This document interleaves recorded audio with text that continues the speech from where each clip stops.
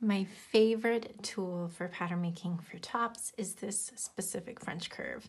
Um, and you can see you can get a beautiful shape for the front curve in just one swoop. It's super easy uh, for women's wear. And then for the neckline, you can see you can get it really in about two, I, I would say, generally.